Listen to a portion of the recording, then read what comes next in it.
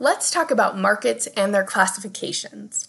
The objective of this section is to understand what markets are and how they are classified.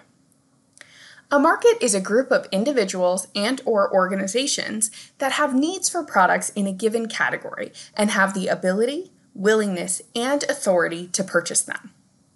Markets are broadly classified as consumer or business to business markets. Consumer markets consist of purchasers and or household members who intend to consume or benefit from the purchased products and who do not buy products to make a profit.